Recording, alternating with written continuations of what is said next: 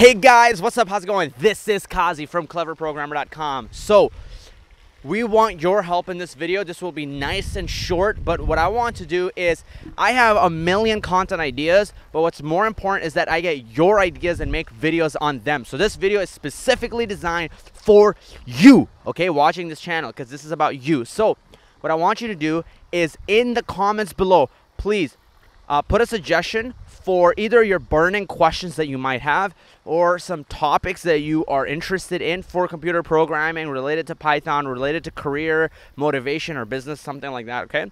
Um, make it relevant and put in the comments below. And the ones that get the highest votes the upvotes and stuff those are the ones that we're going to be putting in our videos. And even if it doesn't get high votes you know we want to be getting your ideas and making videos on them okay? And we will give you a shout out if we make a video on your topic. So uh, that's all this video is about. It's a very short video. It's just a call to action. Need your guys' help.